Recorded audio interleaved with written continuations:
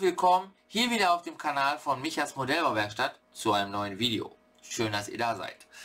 Und herzlich willkommen natürlich auch zurück in der Schiffsmodellbauwerft. Ja, die nächste Lieferung von der RMS Titanic hat mich erreicht und sie hat Großes in sich, aber dazu später mehr.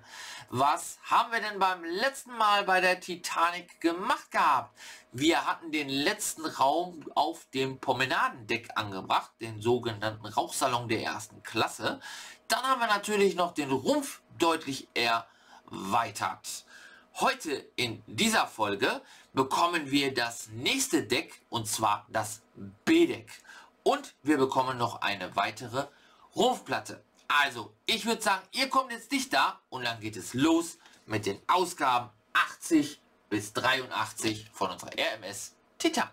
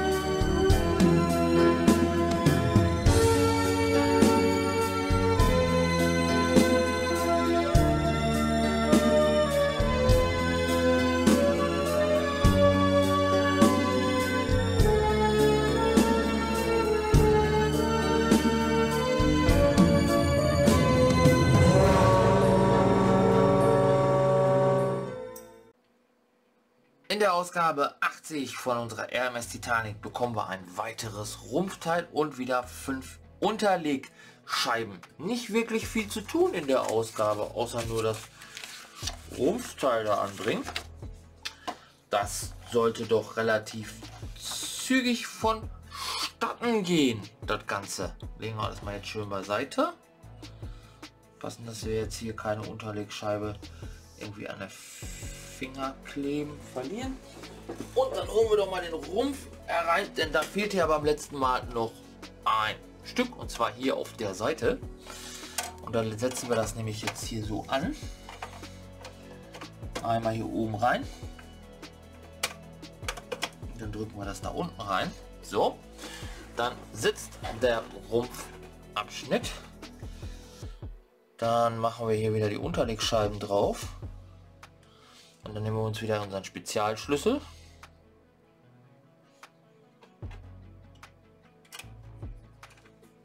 Und dann schrauben wir das Ganze einmal fest. Ich mache erstmal den in der Mitte. Dann ist der schon mal dran. So. Dann kommt der an der Seite dran. Da nehmen wir wieder eine Unterlegscheibe drauf.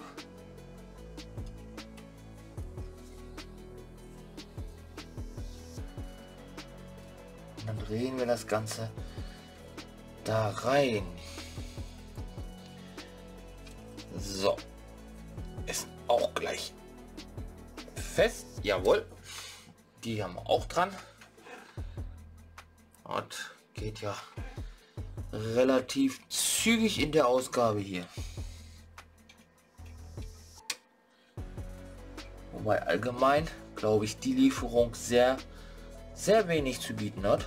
Das sollte eigentlich relativ flott gehen. Die vier Ausgaben. Von den Teilen her sehr wenig, aber daher dafür umso mehr größere Teile gleich. So, das war die dritte. Und dann geht es weiter mit der letzten Schraube, die wir jetzt noch hier oben hinsetzen dürfen. Und zwar hier. Und das Ganze natürlich noch ordentlich an der Wand zu fixieren. So. Damit ist das auch erledigt. Der Rumpf ist jetzt auf beiden Seiten gleich lang und auch gleich hoch. Und damit sind wir fertig mit Ausgabe 80 und kommen dann jetzt. In der Ausgabe 81 seht ihr jetzt einen riesengroßen Decksabschnitt. Wir bekommen nämlich das nächste Teil für unser nächstes Deck und zwar das B-Deck wollen wir jetzt anfangen. Da bekommen wir dann auch eine Beklebungsfolie und wir kriegen noch eine Abdeckung. Gut, dann wollen wir das mal machen. Wir legen das Deck erstmal hier oben zur Seite, schön in Sicherheit. Und ich brauche jetzt erstmal noch mal mein... Und zwar haben wir hier auf der Rückseite nämlich noch ein Loch. Das hier, wofür das dann eigentlich mal war. Das könnt ihr mir in den Kommentaren schreiben, dass ich das dann weiß. Hier haben wir zwei Nupsis. Da soll das reingreifen und oben dann schließen und den Rest schrauben wir dann mit zwei AP Schrauben an.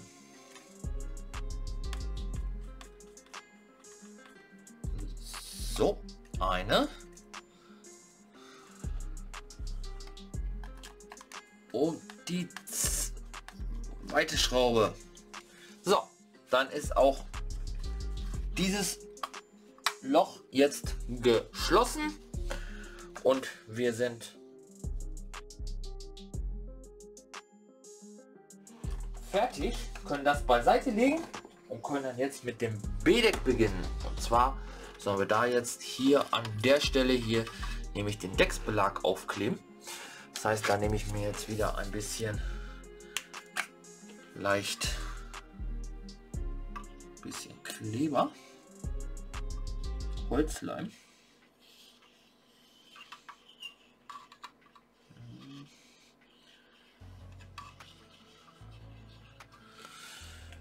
So. Und dann setzen wir den Decksbelag an. Einmal wieder schön hier abziehen. Vorsichtig, nicht dass der durchreißt. So.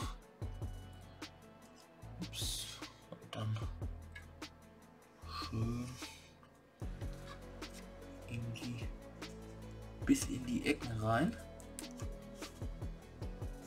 Und das Ganze auch ordentlich in Position sitzt. Da sitzt es auf jeden Fall. Mhm.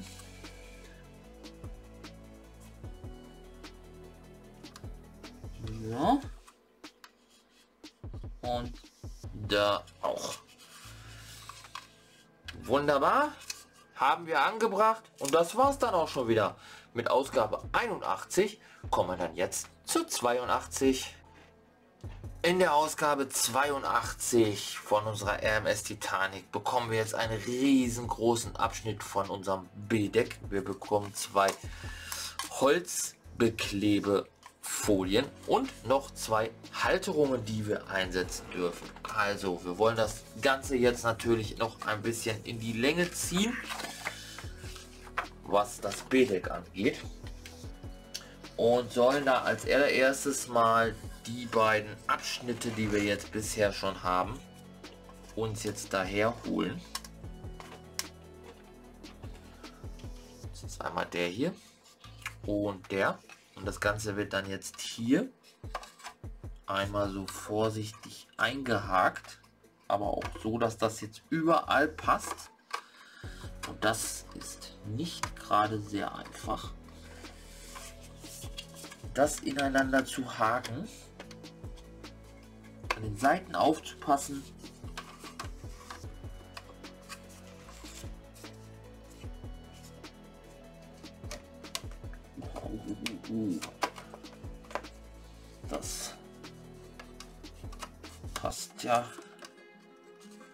Sehr hervorragend. So, da habe ich es drin.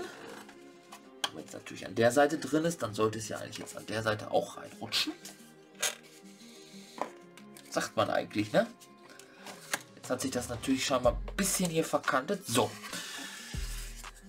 Jetzt sitzen die beiden Teile tatsächlich aneinander. Und jetzt dürfen wir die ganzen natürlich auch noch mit insgesamt 1, 2, 3, 4, 5, sechs AP-Schrauben auch noch verschrauben.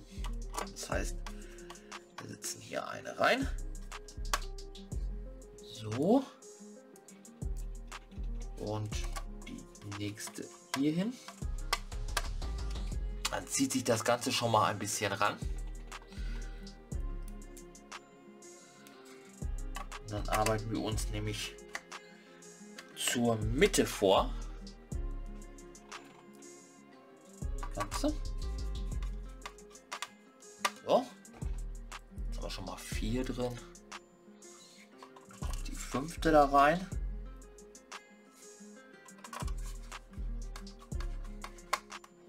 Und das Ding kann sich doch mittlerweile dann echt schon sehen lassen. Das riesengroße, riesengroße Rumpf ab.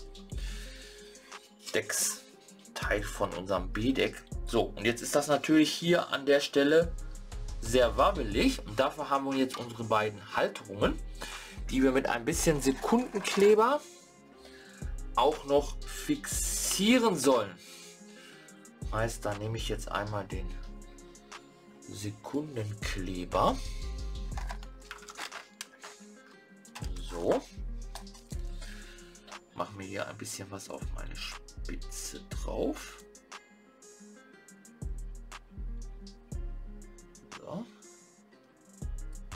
Gut. Und dann nehmen wir uns jetzt eins von diesem Eisen. Und dann sollen wir hier die beiden Zapfen ein bisschen mit Sekundenkleber einstreichen.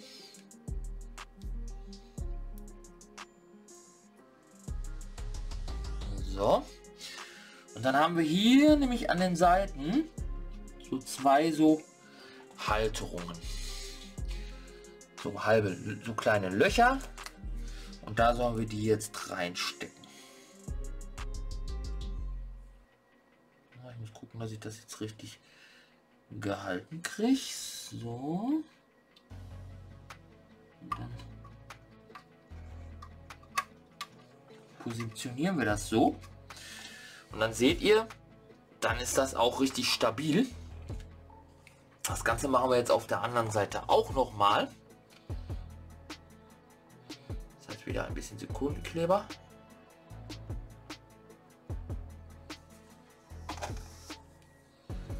Auf unsere Spitze drauf träufeln. So. Ja, das kaum mal was dran. Machen wir das nicht mit der mit der Handtechnik. So, und dann nehmen wir uns wieder das Deck und schieben das in Position. So, dann haben wir die beiden Halterungen auch dran. Damit sind die beiden Decksabschnitte jetzt einigermaßen verbunden, wobei ich muss ganz ehrlich sagen, gerade ist das nicht wirklich. Ich hoffe, das gibt sich noch, wenn es angeschraubt ist, weil das ist ja wie ein Flitzebogen. Schaut euch das mal an, wie so, so halb gebogen. Das ist nicht wirklich schön, wenn das nicht gerade ist. Aber machen wir erstmal weiter. Vielleicht gibt sich das ja alles mit der Zeit noch. So, jetzt dürfen wir noch mal die beiden Decksbelege nämlich einkleben. Das heißt einmal wir hier, kommt hier das hin und das geht jetzt da drüber. Da kommt der nämlich rein. Der Belag reingeklebt. So, ziehen wir ab. hier so schön da rein. So. Aber hier so ein bisschen Kleber überstehen. Ja, den kann ich den kann ich nachher, wenn er trocken ist, entfernen. Und dann machen wir das Ganze hier auch noch mal.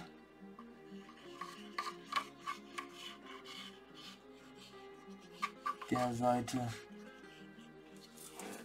So. Und dann nehmen wir uns natürlich die andere Seite vom Decksbelag vor. So. Und setzen das Ganze jetzt so hier rein. Ist das auch richtig schön bündig passt. Und das tut es. Und das war dann tatsächlich auch schon alles für Ausgabe 82. Kommen wir dann jetzt noch zur Ausgabe 83. Der 83 bekommen wir die nächsten Teile. Wir bekommen einmal die Steuerbord- und Backbord-Seitenwand, dann bekommen wir die Frontwand, eine LED-Platine, ein Kabel und jede Menge Verbinder. Ja, auch nicht wirklich viel zu tun in der Ausgabe. Aber wir haben ein bisschen was zu tun und das machen wir jetzt mal. Wir dürfen jetzt als allererstes mal die ganzen Verbinder hier ansetzen. Hier haben wir einmal zum Beispiel wieder eine Führung. Das heißt, hier ist wieder ein, ein kleiner Stift dran. Das heißt, es geht auch alles nur in einer Position hier drauf. Und das setzen wir dann mal. Und dann kommt das Ganze, wird dann mit AP-Schrauben verschraubt werden. So. Eine haben wir dran. Und dann nehmen wir die zweite.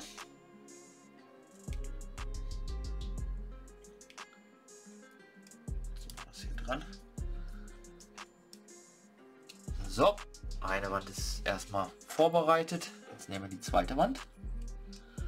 Und dann machen wir das gleiche Spiel nochmal. Also kein Hexenwerk.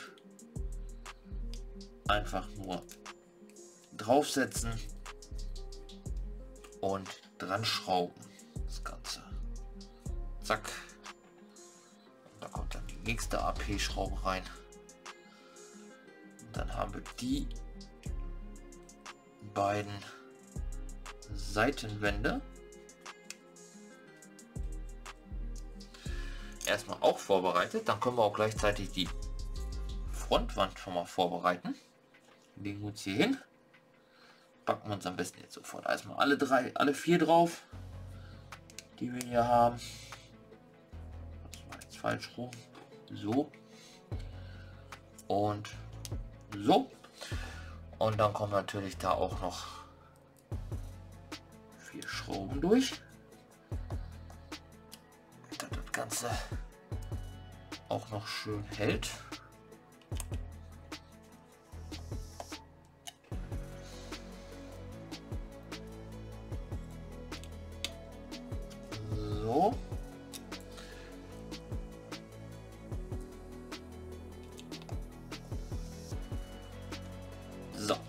Haben wir das jetzt so weiter dran. Und jetzt dürfen wir das Ganze natürlich auch noch in unserem B-Deck einbauen. Und das heißt, ich hole das mal hierher. Die Platine legen wir mal kurz hier beiseite. Das Kabel brauchen wir heute sowieso nicht. Und dann sehen wir hier schon, da zwei Löcher und hier zwei Löcher. Plus jeweils zwei Halterungen. Mir ist komischerweise da. Das heißt, das Ganze kommt hier rein. So. Und wird dann jetzt auch noch verschraubt. Das Ganze natürlich auch noch fest in Position hält. Die Trennwand.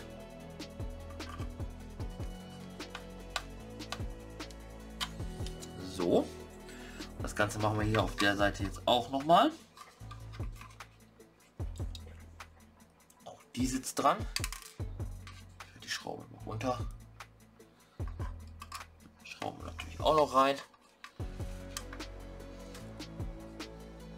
Dann haben wir die beiden Seitenwände tatsächlich auch schon drin. Macht sich doch dann schon so langsam. Jetzt dürfen wir das Ganze einmal kurz umdrehen, denn jetzt sollen wir die Frontwand nämlich von hier auch noch hier vorsetzen und auch Oh, vorsichtig. Oh, könnte der Decksbelag jetzt... Nö, das ging noch mal gut. Knisterte nur so ein bisschen komisch. Aber ist alles gut gegangen. Schrauben wir das nicht auch noch rein. Jetzt müssen wir hier vor allen Dingen vorsichtig sein. Nicht zu stark drücken, sonst brechen wir hier nämlich uns die Seiten nachher kaputt. Und das wollen wir natürlich nicht. Das heißt schön vorsichtig arbeiten. Und nicht so viel Druck. Dann sollte das auch wunderbar klappen.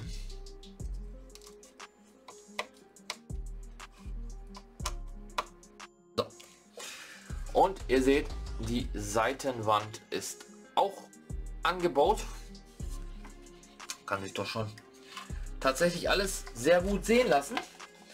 Jetzt dürfen wir noch zum Schluss auf der Rückseite, tatsächlich auch noch auf der Seite, die nächste LED-Platine einsetzen.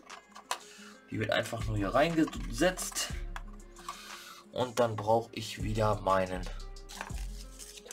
Schraubendreher. Dass ich das Ganze beiseite schiebe. So, da sitzt sie schon mal drin.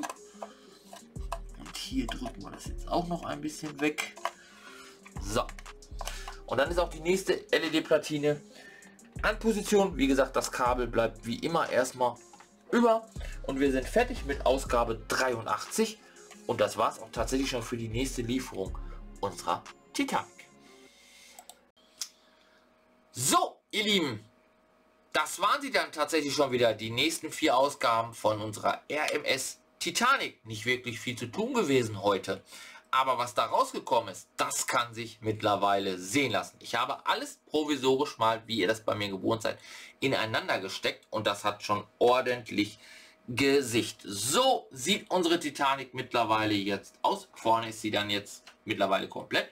Nach hinten fehlt natürlich noch ein ganzes Stück. Ich habe das B-Deck jetzt, äh, das äh, Bootsdeck noch nicht ganz eingerastet in die Nupsis, damit ich es auch noch mal auseinander kriege, denn wir müssen ja schließlich auch noch weiterbauen. Ein kleiner Tipp von mir bezüglich des B-Decks. Ihr habt ja gesehen gehabt, das ist bei mir so ein bisschen wie so ein Flitzebogen.